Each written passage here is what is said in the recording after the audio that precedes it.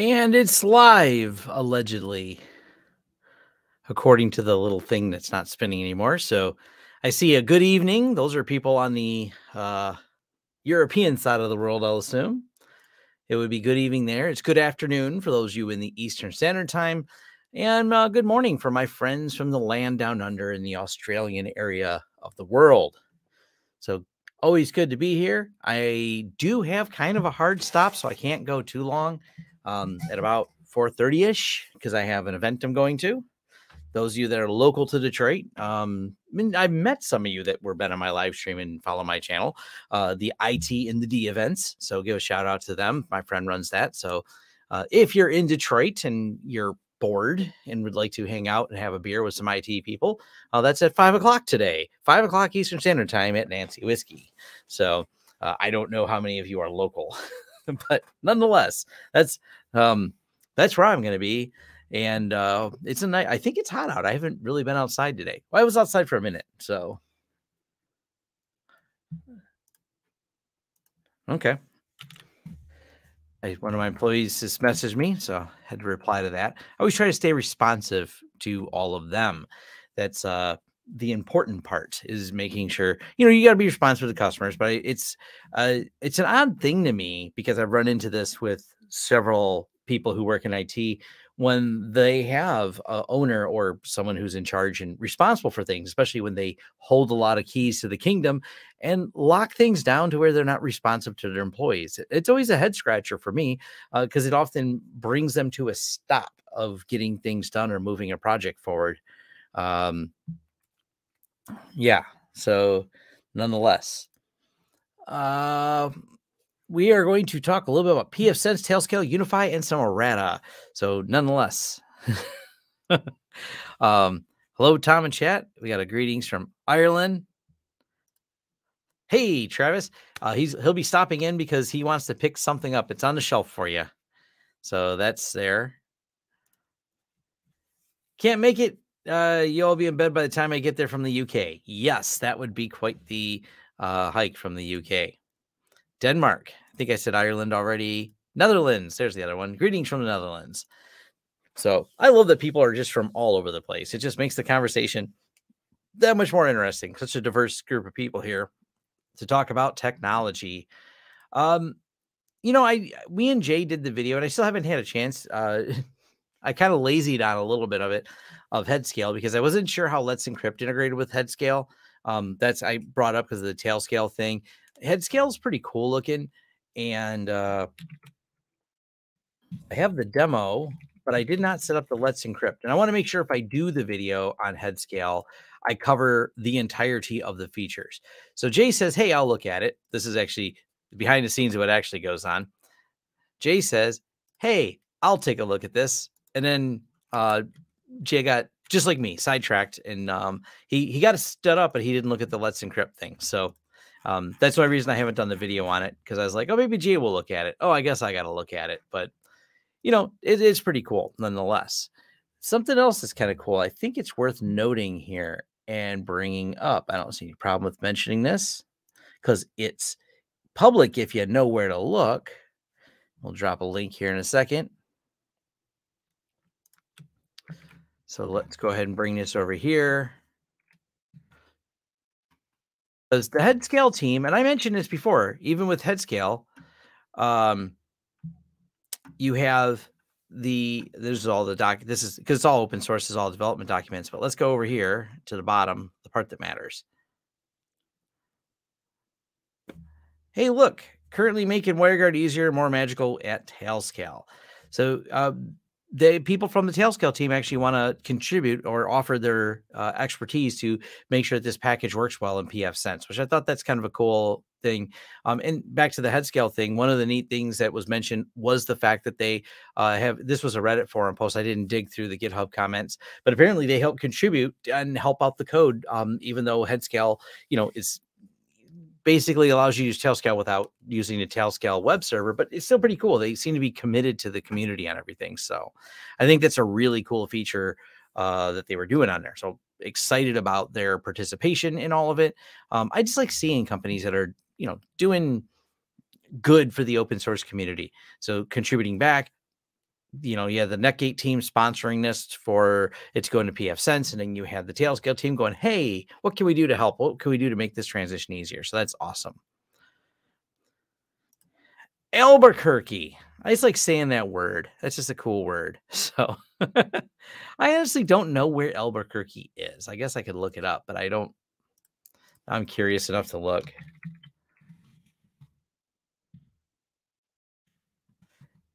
It, Albuquerque, New Mexico. So imagine it's a little warmer there. It's a it's a good word though. It's Albuquerque. I don't know. oh, the silliness, nonetheless. Yep, New Mexico. All right. Hello from the Netherlands. How is your day going? So far, it's going well. I have um, had a lot of conversations. I have like so many things going. I talked to, and I've done a couple videos before with David Bombal. Uh, those videos are doing well, where I did some interviews with him, and uh, we're probably, you know, we're just collaborating on a couple more ideas. I'm still testing all the Cisco stuff that he connected me with because I wanted to do a longer term test of switching my UniFi out for Cisco to make sure it works well. And that is, you know, I don't want to ever test a product of, hey, look, it works out of the box, guys, because that just to me doesn't provide a lot of value to the audience. Now, I'm not going to sell a large scale Cisco deployment to see if things work, but you know, it's uh important aspect at least to have done some level of lab testing extensively and things like that so that's an important uh that haven't i seen breaking bad yes i've seen breaking bad but i um i don't know i'm not good with i'm not good with city names because i haven't been there i need to travel more that's on my to-do list. That was actually, uh, unfortunately, a big part of my day was sucked up with trying to do itinerary for all my travels because I'm, you know, trying to figure out where I'm going to be when I'm going to be there. I'm going to be at CompTIA Chicago.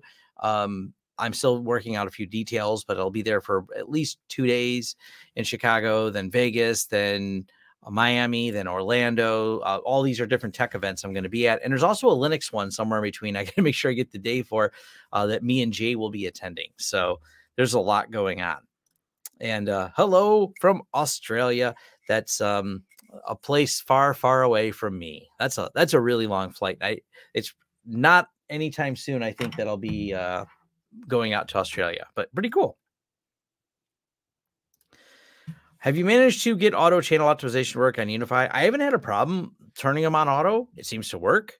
Uh, it hasn't been problematic. A lot of times we just leave things at the default and they seem to work. We don't start monkeying with stuff. And this is kind of my joke about consulting of how much time you spend in consulting setting things to default because people go around and go, look at all the knobs. Let me change all the defaults. And uh, then we spend time undoing all the defaults. And that's that's sometimes the reality of it. Uh,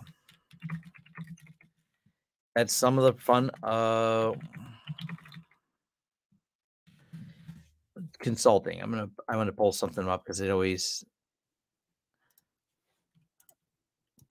throw this out there because this is funny, but it's so true on a lot of stuff. I put it there. Hundred dollars if you watch, 150 if you help, and 200 on it if you worked on it first. I kind of, you know, it's kind of the joke, and it's um just so much that people poke, poke, poke at everything. And we're like, why, why did you change all of the default settings? What did you do? I don't know. I just kept clicking and now it doesn't work. Well, that's a problem. And that's where the issues come from. I was making sure something was turned off over there. But yeah, so don't uh defaults work pretty good for UniFi. Looking at Linode recently for installing PF Sense, interesting. Do you have to create installer disk first, but by booting to recovery environment? um, and then adding. You know, I've never tried setting it up in Linode. That probably would work. Um, yeah, I, I haven't tested it. It's been like something once in a while that sounds like a fun idea, and then I kind of fall off of that fun idea. So it's a matter of uh, I don't know. It, I don't have a solid use case for it. Uh, so I haven't tested it. So it's not it's not something I've spent much time on. It should work, I guess. Just gotta figure out what their process is. Oh, hot sauce talk the Sunbelt. Let's go ahead and get that out of the way because that is the um let me pull it up. A pineapple. I got to find the link for it.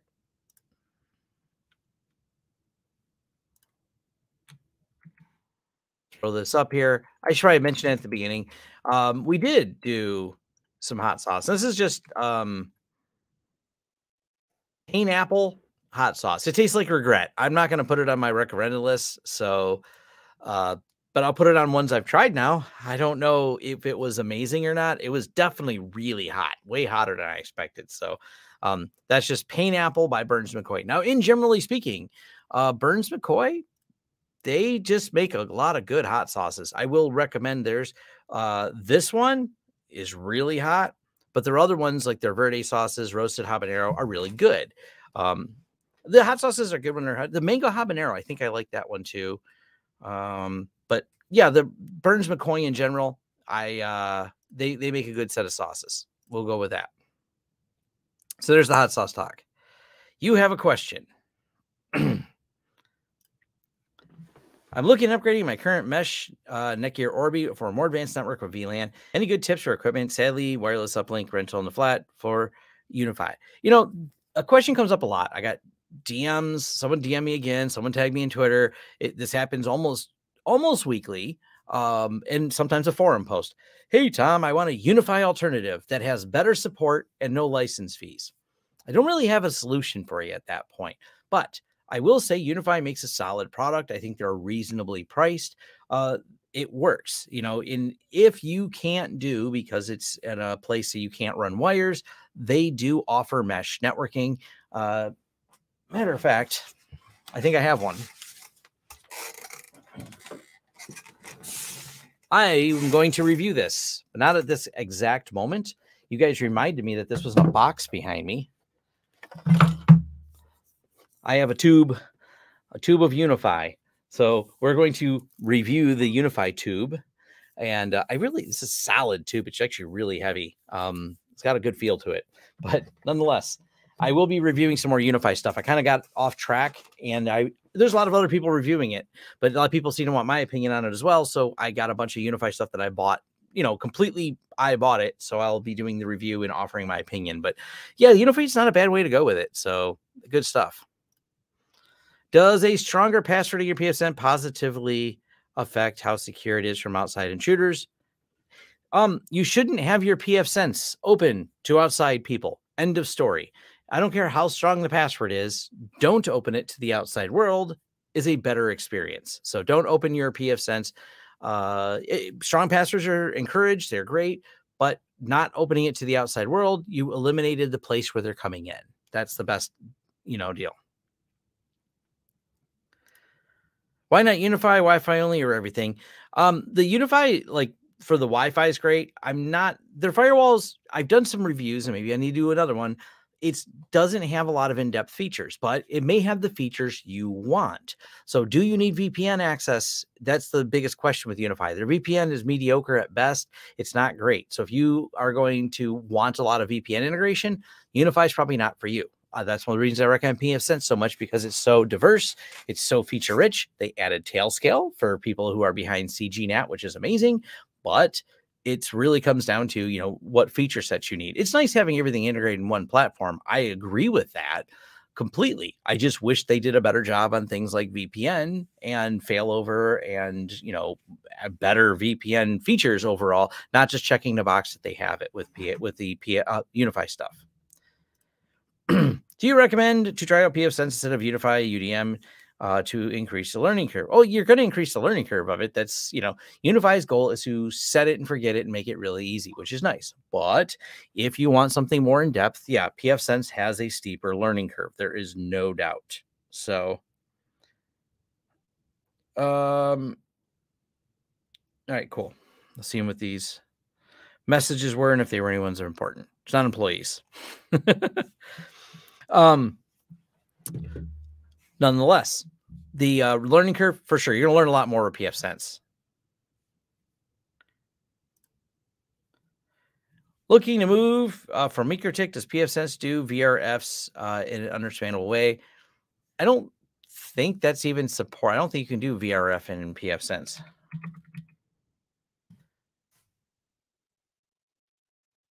The uh yeah, I don't think that's something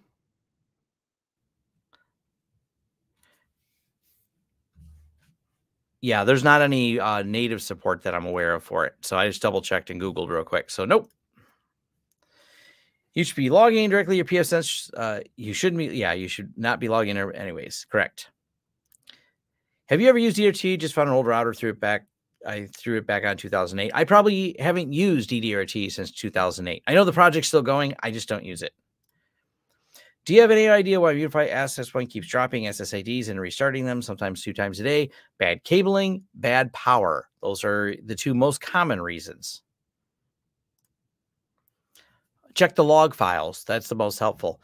Uh, or set up logging so you can centrally log everything and start going through it.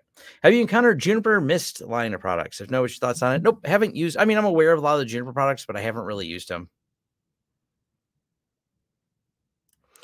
The problem with not just UniFi, but many, many companies is a lack of availability. Access pfSense from a VPN. Yes. Tailscale is another option because that's uh, one of the things I threw in the title here today. Don't open anything. You don't have the outside world. Look at the APC hack. A lot of people shut down UPSs over remote management. Oh, yeah, that's a whole other one, too. Yep, yep. Um, there's another I tweeted out today because there's another incident from uh, what's that place called? Um, Atlassian. Hard coded credentials. Who would have thought anyone would ever figure those out? yeah, those are fun times. On a project, we need to use a Netgear M4300 switch instead of UniFi. Any suggestion for Wi-Fi APs from them? I've never used Netgear. Um, uh any of the Netgear stuff. I can't I don't think I've even reviewed it ever. So not I don't really have a suggestion on Netgear things. I have three Asus Wi-Fi wired together to increase my Wi-Fi range the house, but it keeps dropping out. Quick turn on off phone fixes it. Anything to check? Uh not really. Those consumer ones are sometimes not always the best and I don't test them very often, so I don't know their current status of how good they are. Once I moved over to, you know, years ago, 10 years ago more or yeah like 12 years ago i started using UniFi i quit using all the consumer stuff and i quit even testing it.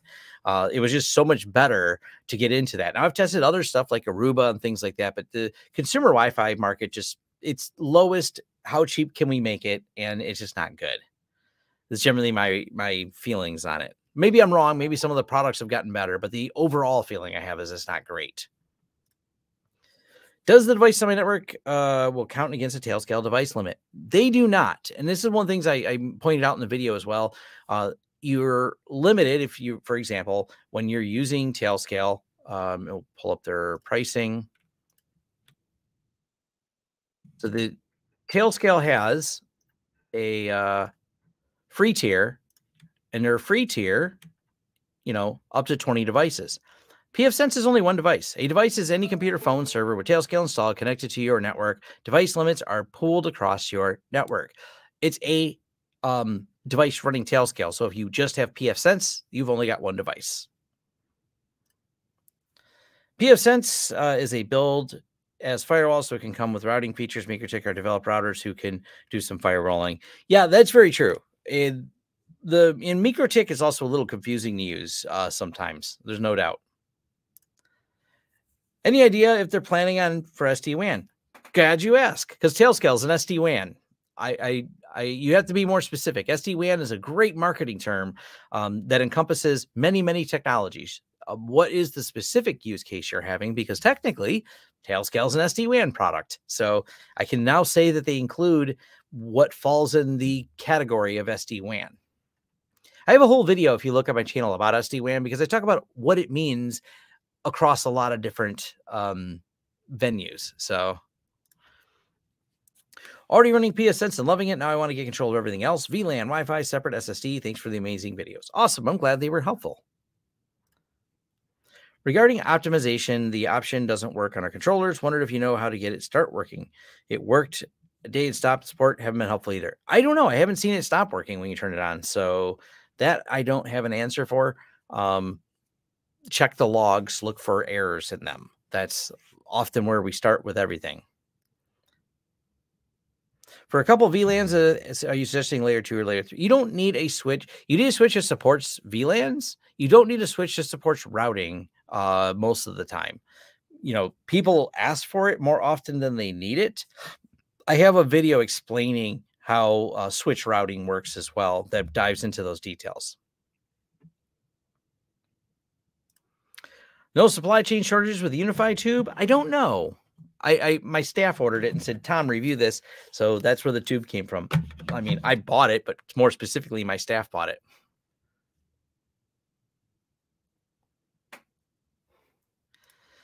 Uh, let's see. Your is Zyxel, which has mentioned uh my Zyxel opinion. Let's go ahead and pull up uh Zyxel opinions.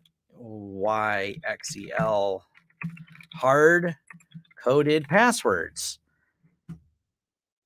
So um this not not once, but at least a couple times we they decided to do things like this. Um I don't know why, but this is, you know, Zyxel, let me pull it up here, and their hard coded password problem. I don't understand why companies think to do this. Um, that just proves to me they don't care as much about, you know, passwords. Uh, so yeah, that's just silliness. So, according to Zyxel, the ZYFP account was designed to deliver automatic firmware updates to access point via FTP. We're guessing the plans for wireless access point in the network to call home regular basis to local router and check for updates. That sounds harmless, assuming anything downloaded via FTP digital signature, given FTP connections themselves are unencrypted and therefore easily tampered with. But it's just silly. Like they, I don't think they were malicious. They were. It's either you're malicious or you're inept. Neither one of those answers being yes makes me think I should use your networking gear or products. It has happened a couple times as I Excel, so I kind of like don't like their I didn't like their products to begin with. I played with them and didn't care for them. And uh yeah, them having hard coded credentials and things like that. Yeah. This is an issue. Uh let's see. Do you have a recommendation for uh to have a better view on the UniFi logs instead of the clip? Um yeah, we use Graylog. So Graylog pipes all the um we pipe all of our logs via syslog to Graylog out of UniFi This gives us visibility into all the little details on there. So Graylog, because it supports, you know, sending things to syslog server, send it to your Graylog server. Um, that's kind of the go-to solution for a lot of that. That way, you know, as the devices, you know, do their thing, you're able to track and log it. And when you have disconnects, when you have errors, you have a nice journal of all the things you can track down within there to determine what went wrong. Centralized logging, man, that's where it's at. Any recommendations on a local print server? Sharing Windows 11 is proving a giant pain. Uh, usually Windows Server. That's what we use for a print server. Hmm. Well, Windows Server is what we use for our clients. We don't have a central print server at my office because we don't really print anything. We have a network attached brother printer. I think it's a brother. I don't know. Probably it's a brother. Could be I don't remember. I don't print very often. I have a brother printer network attached it here at my house, mostly for my wife to print, and about once a month I print things. Is there a, a, way to put more than one IP in a UniFi switch? No, not that I know of. I don't know why you would need to either. I don't understand the need for that. Not sure if that's still a thing in UniFi where it disables SID, lost internet, just something to remember. It does do that. Um, I think it still does that. When it can't ping out, it will disable. I don't remember what models do that. I wanted to dig into that because that was I thought the feature was supposed to be fixed. And I realized when we were resetting stuff, one of our Unifies uh, went blinky uh, when it didn't have internet. And I'm like, that's interesting. So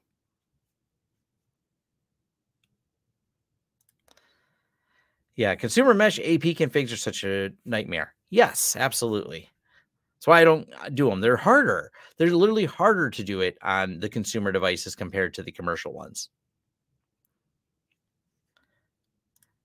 Do I think UniFi will integrate into Tailscale in the future? No. I don't think they plan on any integrations for it. Matter of fact, I got to dive into the way they're doing their VPN because it confuses me. You know, you have your new what is that product called? The um the the UniFi product that's for accessing things. Uh they're like their secure cloud thing, like they're pushing it. I looked at it and I said, it, you have to sign up for a cloud to have it talk to your UniFi to have it kick out a VPN file. Why don't I get the VPN file right out of UniFi Well, because they designed it in a more complicated way to try to make it easier for doing things, but I don't know. So I don't expect them to go to Tailscale. That would make things too easy. Not, a, I mean, hacking support on there versus official support are very different things. Really hate the fact that they assume that you want JPs go down and you lose internet. Seems like a really dumb idea to me. I'll go with y'all in on that one. That's why I mm. want to re- revisit that topic and play with it and figure out which one. I have a bunch of them in my office. I want to figure out which ones do it and which ones don't. Hello from the Netherlands, and thank you for the donation, Benjamin. Awesome. Thank you for the content. Very much. Thank you for the donation very much.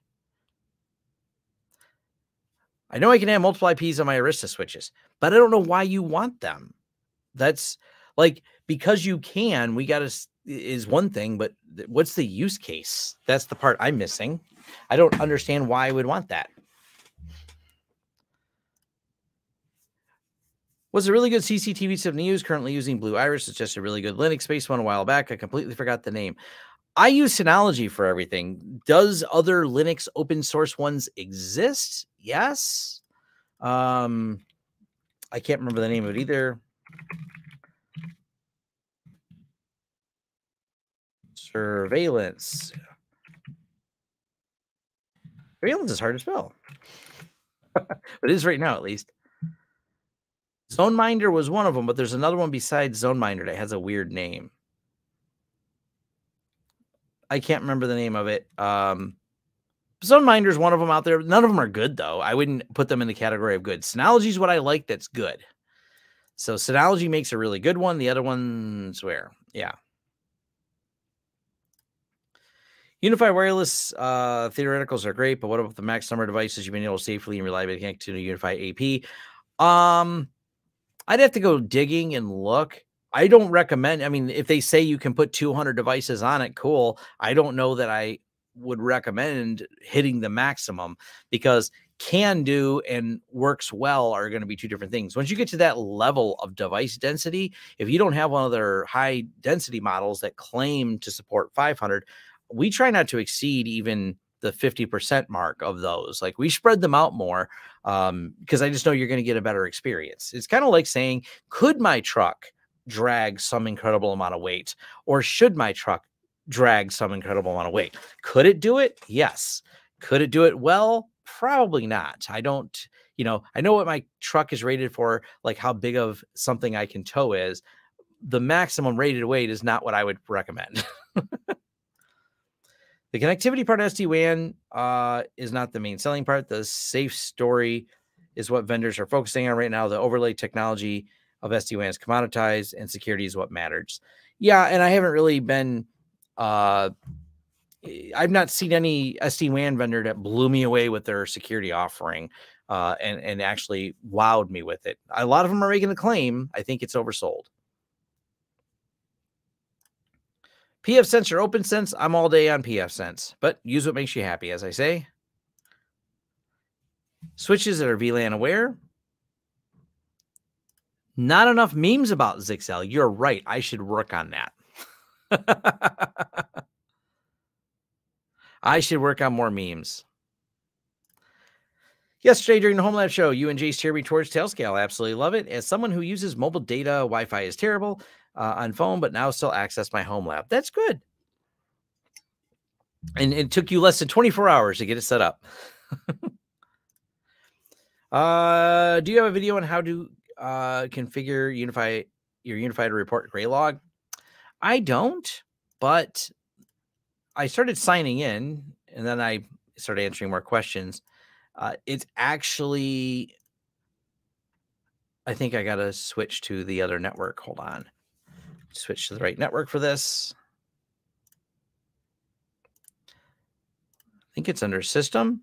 It, it's just an entry in the system. Let me just find it and bring it up. There we go. We'll share the screen. And there you go. You just put the syslog host in and the syslog port. You're done. That's it. So I don't think it needs a video.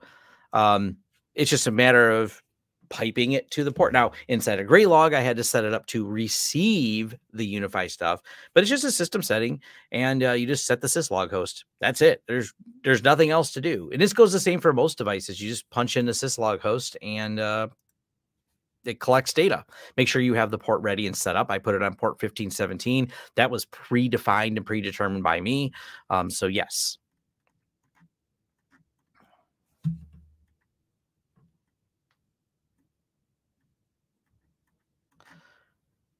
Synology. Yes. I see people answering them. Get Shinobi was the other one. Shinobi is a uh I know I'll just give a shout out because it looked cool. I don't remember it working very well, but it's been a while since I tested it. I'll just drop a link in here for that for those looking. But Shinobi was one of them. They had a cool website. So I don't know how good it works. So that's what it really comes down to, right? How does it actually work? Are there any benefits using two and a half gig at home? Usually not. People get excited about it, but unless you actually have the need for that extra speed, then no. I love to see info on WireGuard uh, in TrueNAS scale, custom Docker images. I can get it to function on scale, but itself, it's a Docker. Um, I don't really know because I never run a fire uh, a VPN on my uh, storage server. I mean, it doesn't make the most sense to me is the best way I can describe it. I run it on my firewall, not my storage server. So I haven't spent a lot of time on it because it's just not something I use. And uh, maybe I don't understand the use case for it as well. Do you have a plan for the next Home Lab show? Yes. I have a good plan too. I, am waiting to confirm. I don't want to say it in case I curse it, but I'm waiting to confirm um, two guests at the same time uh, on one topic. So yes.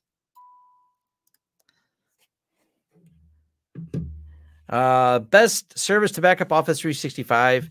I don't know what the best one is, but uh, you can do it with Synology and it works pretty well. So Synology is definitely an option for it, but there's also uh, MSP 360 is another popular one. I don't want some layer three switches so I can offset traffic and offload heavy load to file server. Doesn't have to go back to core.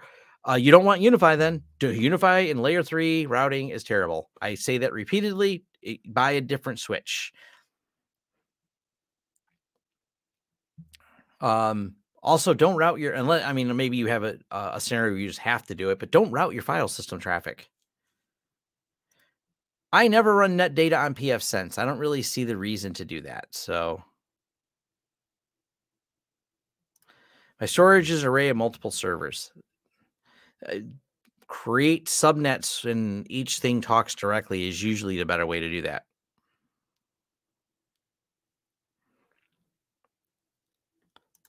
So ZoneMinder does its job on a Raspberry Pi 4 SSD plus Ubuntu. Interesting.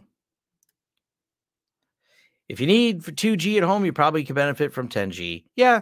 I mean, it really comes down to your connectivity. The 2.5G people always seem more excited about than I do. It's because 2.5G comes kind of after 10G. The real need for 2.5G comes from hey, guess what? You can reuse this existing wire, such as Cat 5, and get two and a half gigs out of it. Um, it's it's kind of a a stopgap because not everyone's willing at the scale enterprise works at to rewire the building, but they'd like a little more speed. So it's a fit. Uh, for home use, 10 gig is not that pricey. So if you need something fast, connect at 10 gig. So uh, could you run pfSense on EFI Dream Machine on the same network? Yes, I have a video on put in UniFi pfSense uh, or UDM and pfSense. I have a video. It's a dumb idea, but I did the video because a lot of people ask. Like, I get it. You bought one, you don't want to get rid of it. That makes sense. So there is a you you don't want to just throw it up on eBay and sell it. So, uh, I, but would I recommend buying both of them? Not particularly. Not not for the. There's not like a solid use case, but it's usually the use case of I already have one, but now I want a pfSense. I started running WireGuard on a firewall. two tunnels and subnets, I figured it, it would be more granular if I put each on a Docker image to minimize privileges. You can. I don't know how well that performs. Um, it's a different approach to doing it, but I'm generally doing it through the firewall because, well, it has to go through the firewall anyways. Can you do a video comparing issues with layer three from UniFi versus the better layer three switch? I don't know that that's really much of a video. Like UniFi just does it stupid, and other companies do it normal. Um, that would be the best way I can describe it. Like it's just UniFi has a weird way of doing it and not a common sense way of doing it. They create like if I'm not, it's been a while since I looked at it. Um, but they they basically create some intermediary networks um, to route through versus the other ones like other people said hey on my arista switch i can just add ip addresses and routes that's correct you can just add ip addresses and set up static routes on your switches but then UniFi decided to do something completely different like they didn't follow what any other switch company does so i don't know if it's really a video i'll do or not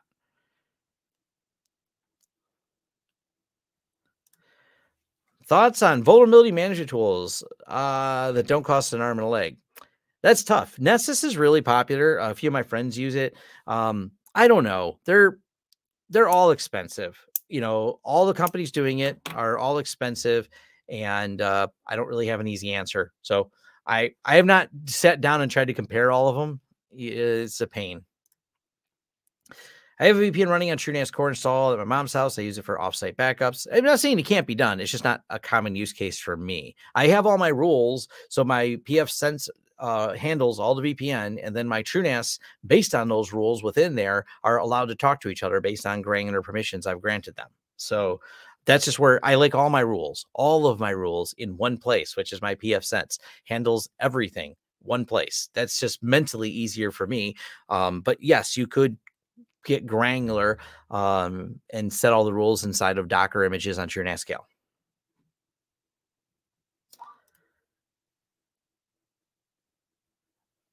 Uh, as a new home networking hobbyist, what network knowledge would you uh, would be good to first learn? That's a hard one. Um, but yeah, there's ah, start with a goal and that usually leads you to what you need to learn to get that goal achieved so figure out a project that you want to do start with the, the goal is the project being completed and working and then start working backwards going what do i need to know how to get that project going that's usually my my way of learning in the case i recommend a dedicated uh NICs even more one for storage syncnet one nic for client facing storage yeah, that's how we do it. We have separate NICs for the different storage connectivities. Um, that way, we, the, the NICs for storage are also separate from the NICs on our VMs, uh, where the VMs provide data. So we have a storage network on some, and we have a data network on the other. That way, we're uh, not trying to route traffic because that's, a matter of fact, even 10 gig layer three routing is going to require a switch fast enough to do 10 gig layer three routing. MikroTik is an example of this. I talked about this when I reviewed it. Can it do layer three? How slow is it at layer three? And I referenced the ServeTheHome who actually answered that question that showed how slow the layer three is on it. A switch that can mount that can route at layer three and a switch that can do it fast, there's a price difference. Um, that's something to consider. That's why generally you don't route storage. Suricata block Tailscale. Yeah, Suricata um, and Tailscale, they're not friends. Uh, it, it, does things, and Tailscale goes, look, look at how I'm going to uh, look around and make this work. And Suricata goes, that's a suspicious behavior. So yes, you're right. If you have tails, if you have Suricata turned up, it'll detect Tailscale. It's weird that it doesn't detect it as Tailscale. Tailscale's been around a while. I figured to be a rule that goes, I know what this is. It's Tailscale, and it should have that in there. I didn't see it flag that rule.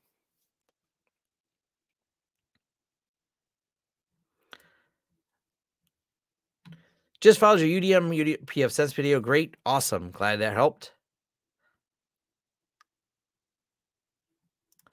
Uh, layer switch configuration with pfSense is a bit confusing. Um, maybe. I don't know. I don't see. I, I maybe I'll do a video on it. It's uh, setting one up, grab a switch. It's just a lot to set up for a demo, and for something that's not used that often, really. The goal worked. It also drained my bank account. Yes. Uh, what surveillance cameras do you favor? Um, we've been really happy with the um which ones am I using? I was why the name's on tip of my tongue. I'm gonna pull it up. When in doubt, pull it up. I did a video on these. You can find it on here. They're the uh Amcrest. So the Amcrest cameras work rather well. This is my Synology surveillance station. Actually, while I'm here, in case anyone's wondering, we're counting cars. That's still a thing we're doing. That's been kind of fun. Uh, detection results, report, car counting. We've been doing uh almost a month yeah, here's a month of counting cars in front of that drive by Tom's house every day. So it's they don't just work. They got some cool features in these Synologies. Because my friend didn't understand it. I have a non-tech friend. We were talking about it. He's like, "You counted the cars on your camera? Like, did you have nothing better to do?" Is how he replied. And I'm like, "No, not really." And I said, "Oh, you think I actually counted them like on the camera?" He's like, "Yeah." I said, "The machine does it." He goes, "Oh, okay." Ah. uh. Fun stuff. Yep, Amcrest, that's the ones. And uh, I have my video on some of the advanced surveillance features that come with Synology. I'm doing another video on the deep video analytics that's come with Synology, including this feature here.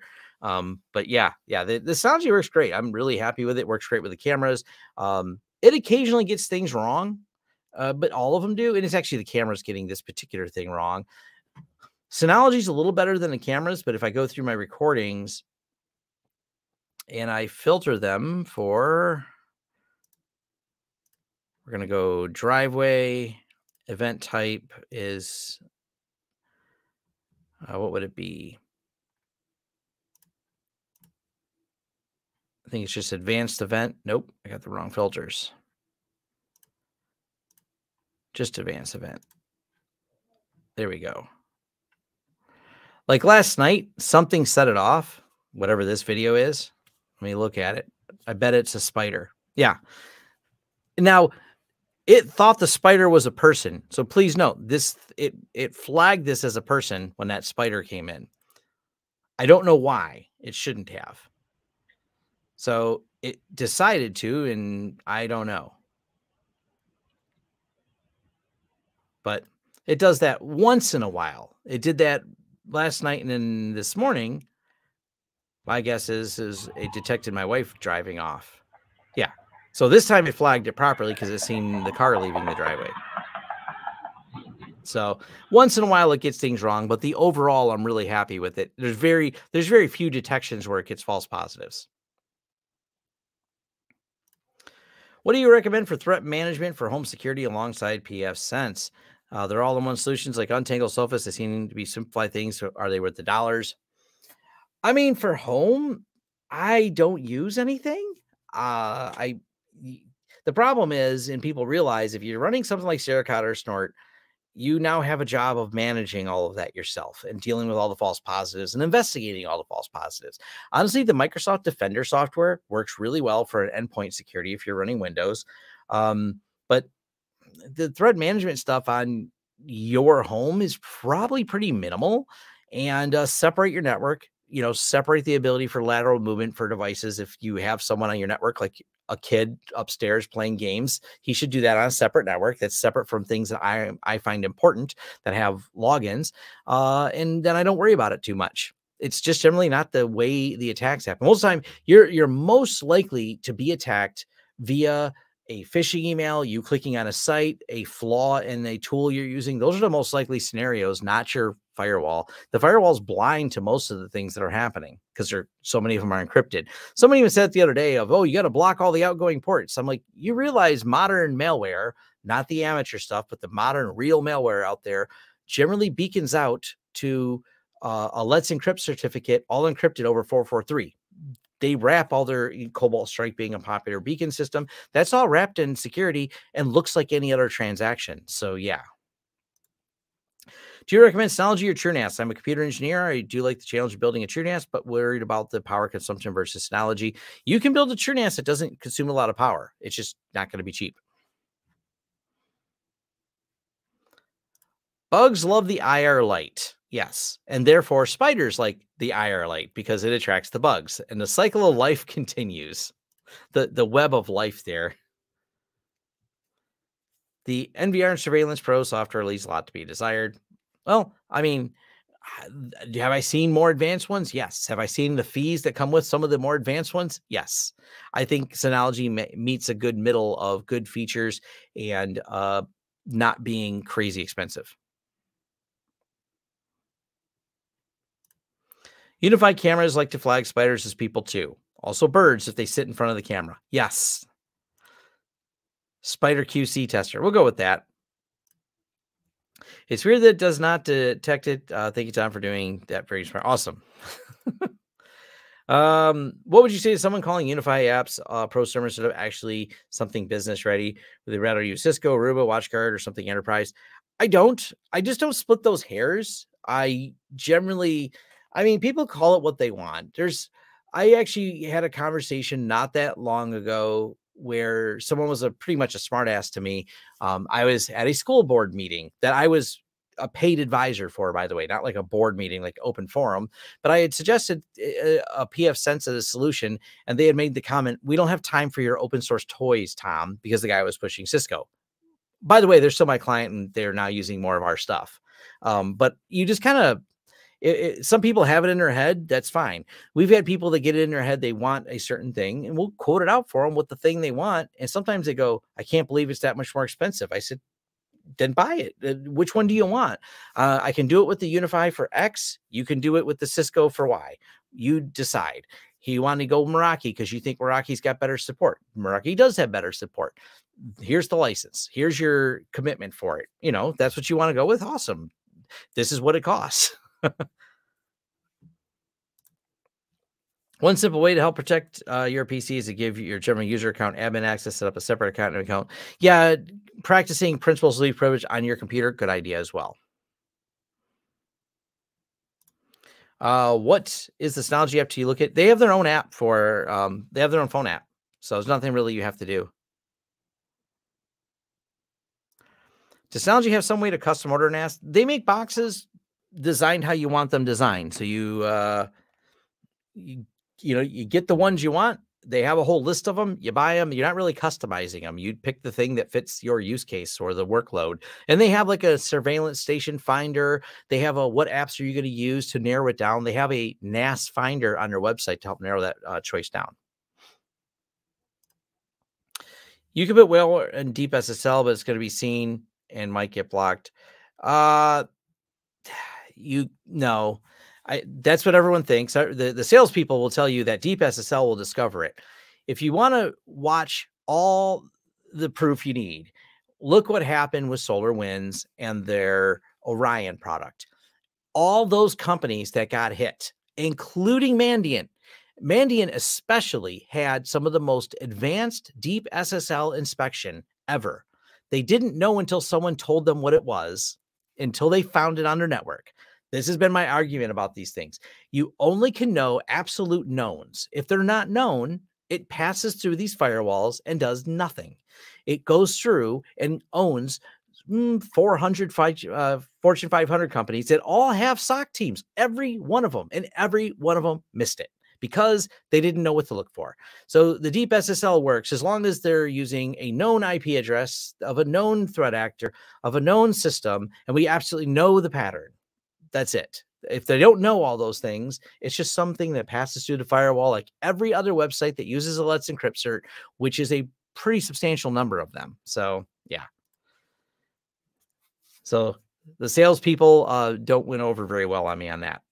Correct me if I'm wrong, but isn't Synology Surveillance Station free after the price of the hardware cameras and the per camera license? Yes, they do not have recurring licenses on their surveillance system or the device itself. Ah, yes, Cisco and their deprecated cryptography. Yep. Your gifts are awesome. Helping novice set up their system awesomely. Good to hear. Have any good resources for running a layer two tunnel over existing layer three VPNs? Can't find a good resource. I don't have a resource for that. Sorry. Um, I haven't looked at Blue Iris in a long time. I just don't have an interest in it. It's to me a very consumer product that doesn't excite me. Um, it's it's novel. It runs on Windows. Is pretty much why I don't even have an interest in it. If it ran on Linux, I might consider it. But the fact that it, last I checked, it only supports Windows, and uh, it it's wasn't that interesting to me. Some people seem to like it. It's kind of neat because there's so many things you can configure with it. I've seen people integrate it into home automation. It's got a lot of expandability. It takes a lot to get that work. It's not like out of the box it has that. It takes some time and effort to put into it. It's not a horrible product to my understanding, but I don't I don't feel as though as it's professional or good as uh, Synology. I wouldn't do it commercially as a home user. Yeah, maybe play with it. Maybe it fits your need really well. Um, but Synology happens to just be very turnkey, and we've sold these a lot to businesses, and even a lot of some of the home users uh, go, "Wow, this is easy." Matter of fact, my wife likes the Synology. It's simple to her. It just works. My wife is not a technical person, and that kind of my joke. It passed the wife test, or just generally anyone who is not technical using it. So my wife not being a technical person, she has no problem understanding how this Synology works and looking at the cameras. It works when she's here. It works when she's not here, when she's external. Uh, so yeah, just simplicity.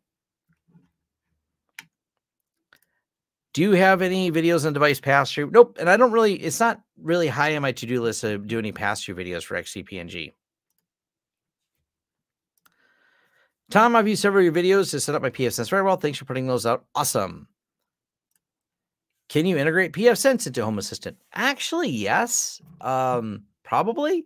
It's not native integration, but you can do things like that. There's probably a way to do it. So I, yeah, maybe. Um, I don't know. I am going to wind this down in another 10 minutes because I have that event to go to. So 10 more minutes of questions. yeah. The um, I think Jay has an integration in there there's some trickery he did by creating a user and an SSH key, I think, and then having the Home Assistant SSH into pfSense to trigger an event. Jay was playing with it. I was kind of, I don't really have a use case for that, but I think Jay was using it to trip firewall rules um, at certain, based on something that happens in Home Assistant. Like it was a proof of concept. Uh, Jay from Learn Linux TV talked about. We have no documentation on this. We're just saying there's probably a way to make that work. So yeah, I it might be kind of fun to play with. Is it nice outside? I'm to look now. My wife's not home still. The car is still gone. Empty garage. What do you think of my garage is the motorcycles? So, hey, why not? You know, for the last few minutes, I'll jump off topic because I do that occasionally. So the uh I did manage to hammer out with a friend of mine.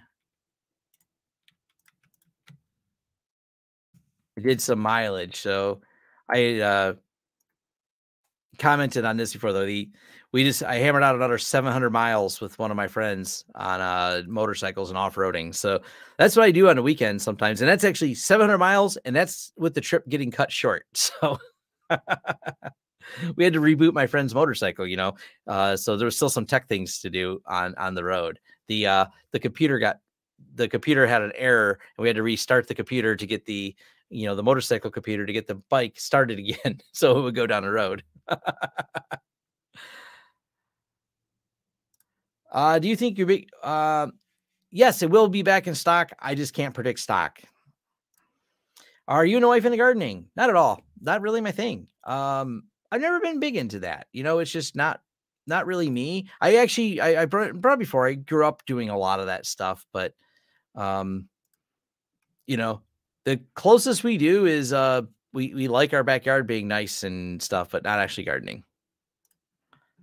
The only thing I've done with layer two uh, over layer three was able to use DHCP from DSure instead of uh, its own block for the Open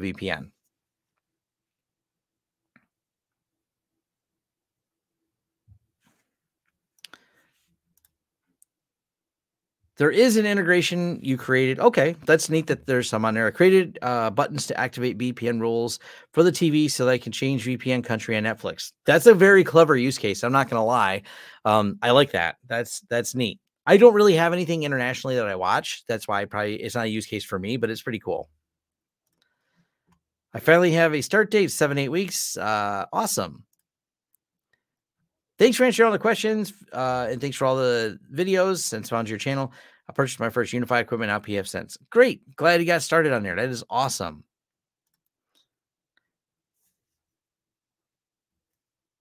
Are oh, there are some OpenVPN clients. Yeah, I think that's probably true. Probably true.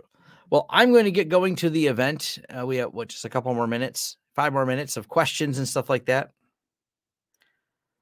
Oh yeah, motorcycle road trips to the back roads. Absolutely. That is um that's a lot of what I end up doing. Is uh just doing these out a lot of off-roading you know hammering out a lot of miles on my uh my adventure bike that's that's my disconnect from all this tech that i do all the time so uh there are limits to how much time they take off it's not unlimited but it's it's generous um above average i don't know uh it's they they usually don't want to use it all the so far i don't think anyone is even halfway through all of their uh, paid time off. So I try to keep it rational with them. You got to try to keep the workplace nice and a happy place to work.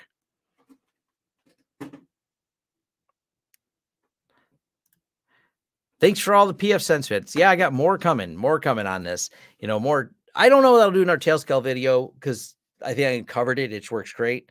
Um, but the the definitely the um the Headscale video is coming where I will be covering that.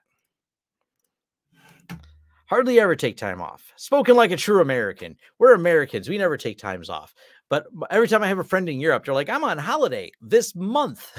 it's so much different over there. It's just this weird. I'm trying to, because I never take time off myself. And um, I'm trying to schedule time because I do intense vacations like I did, you know, three day weekend or two day. Matter of fact, that was 24 hours, 700 miles, and lots of off roading. Um, I did. So I usually do a more intense vacation. I, I need to do like a real. I and it's not to relax because I don't really relax a vacation. I need something that I'm doing intensely. Um, that's still a vacation to me. It's just a a vacation. I guess I would define myself as some time away from tech. But I love my job so much. It's really hard to take a vacation.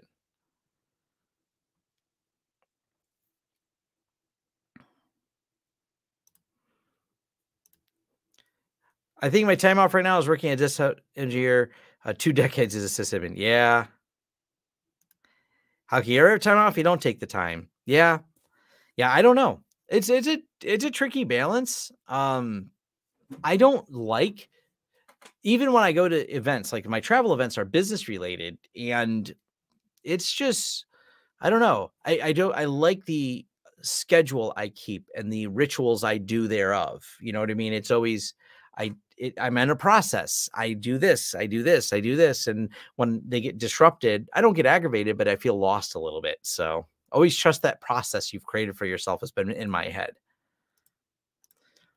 I'm European, barely do any vacations these days. Uh, I have due to laws. I get bored networking. I like, yeah. Yeah. I have you been to Spiceworks? No. So, nonetheless, all right. Now we've reached the end because I know Brett's going to be here soon because we're riding together to go to the event. So, thanks everyone for joining. See you next time. Head over to my forums for a more in depth discussion.